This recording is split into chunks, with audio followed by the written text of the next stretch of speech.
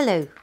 On this next episode, we're going to be talking about the extraordinary journey that Belvoir has had with military history. I'm actually not a historian, but I've had to learn on my feet here at Belvoir. And it's been fascinating because there have been four castles on the site here, and I wanted to find out exactly what, if, what were the battles around Belvoir and why had these castles been knocked down.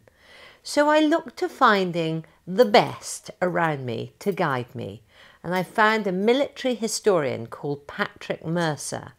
He's rather special, and he's coming on board and he's going to guide me through all the battles that have surrounded this area and also the weaponry that cover the walls of Belvoir and why we've got it.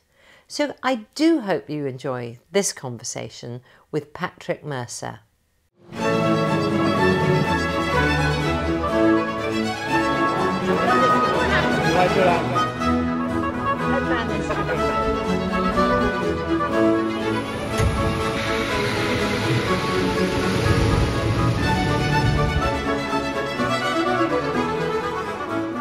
Patrick, tell us a little bit about yourself.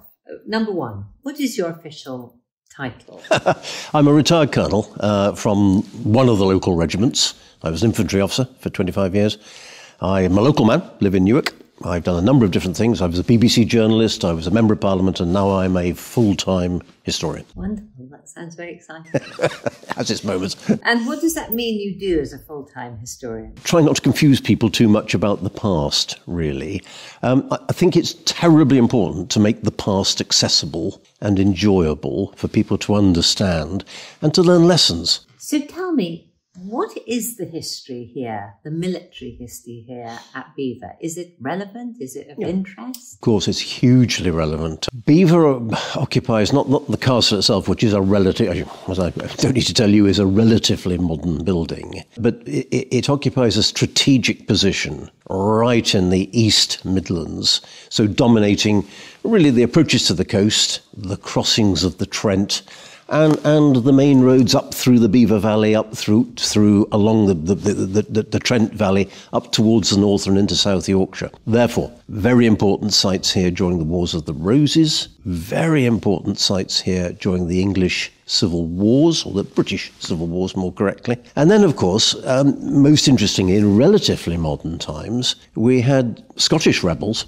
knocking on the door of Belvoir in 1745, 1746 during the Jacobite rebellion. And then, I mean, that is, that is simply the, the what, what happens here in the castle. But the family, of course, redolent of military history and, and a, a, vast contribution to the safety and the prosperity of the, and, and the gallant co- courage and conduct of the whole country.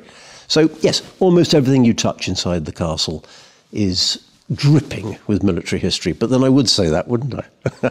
Our guard room is a great, magnificent sort of show of grandeur, and I suppose, yes, it's a show off of how many were in our garrison. Would that be correct? Absolutely. This is the, particularly in the 18th century and then later the 19th century, this is the administrative headquarters for the local forces that are here. So, so without getting too technical about it, regiments of militia, so, so the counties of Rutland and Leicestershire, their militia regiments, their part time regiments, are reflected here as being a headquarters, a mustering point for raising these regiments in time of war. And then when, when the threat diminishes, their weapons have got to be kept somewhere. And you can't, clearly, you can't send every man home with his weapon because the thing will, will be neglected or abused or whatever. So when the militia is raised, when they, so they, the men are called to arms, this will be an issuing point for the weapons, swords, muskets, bayonets, particularly the leather equipment, which I may, if I may, I'll talk about in a moment. Yes. And then when the threat diminishes, so when the, we've beaten the French yet again, or whoever the enemy is at the time, the militia will come back here, will stand down, and their weapons will be oiled, cleaned, and laid up here inside the castle. But remarkably, I, the muskets, the swords, the pistols are wonderful things, of course, and they're relatively scarce, but the leather equipment, which has been which has survived from the 1780s in some cases, so the crossbelts, cartridge pouches, certain waist belts and frogs, the thing from which a, a sword or a bayonet hangs, the fact that you've still got leather equipment here in such good order is remarkable, quite remarkable. Oh, I'm pleased to hear that, Patrick. And what what what also fascinates me is the sort of trophies of war that Yes. we have. Yeah, you just absolutely. talk to us Of course, about those? Now, getting on to my, one of my favourite subjects is the Marquis of Granby. The Marquis of Granby, whose, whose popularity really comes at the end of the seven year, well, during at the end of the Seven Years' War, 1756 to 1763. Never becomes a duke because his, he predeceases his father. Nonetheless, is one of the most significant military heroes of the 18th century. So, so he's an officer of the, amongst other things, the Royal Horse Guards, and he fights in Germany, uh, Low Countries, winning a series of victories. The, the thing I like so much about him is that all over the country you can find pubs called the Marquis of Granby. Why?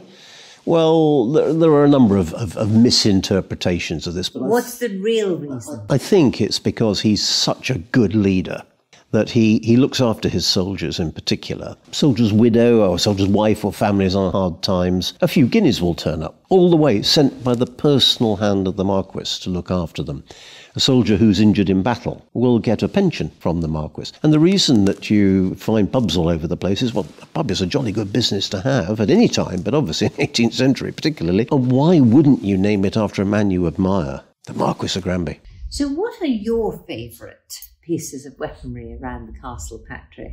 There's one that stands out for me above and beyond everything else. The Marquis of Granby would have had decorative swords to wear.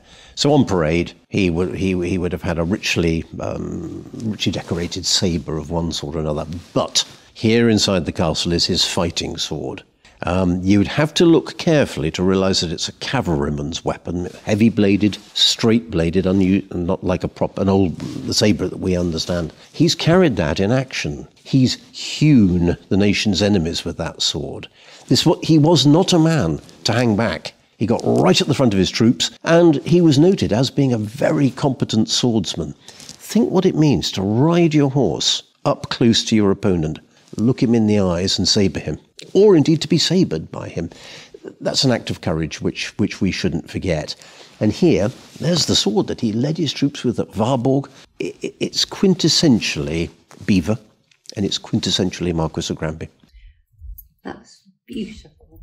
Thank you so much. And that was actually the first thing when David, when I first met David, I, he gave me his card, funny enough, and it said Marquis of Granby. And I thought he most probably owned a pub. I'd have never heard of a Marquis before. And um, Why not? no, exactly. Why not? Why then, not? I- then he told me the history, but hearing it from your words today, you painted this extraordinary picture of this man whose portrait sits in our state dining room and looks at us every time we have a meal. And now you've sort of put the character behind the person. Good. It's magic. Thank you Delighted. it's always interesting because it I've had to really learn it, Patrick, and I try every day to learn a little bit more about how to preserve it. But why is it important to keep this sort of collection together? I think, Your Grace, it's, it's terribly important. And why is it important? Well, because that's a lesson. That's a lesson. Are people ever going to descend into the sort of brutality that the Marquis of Granby saw in 1760? Yes, they are. We've got war in Europe again at this very moment. People thought we'd grown out of that. No, we haven't. Let's learn the lessons from the 18th century, the 19th century, and from the families and the great heroes that we've been talking about. Let's keep those weapons as a reminder. That hopefully it never happens again on our island. Let's hope on our soil that we are never affected by these sorts of things again, but I wouldn't bet on it.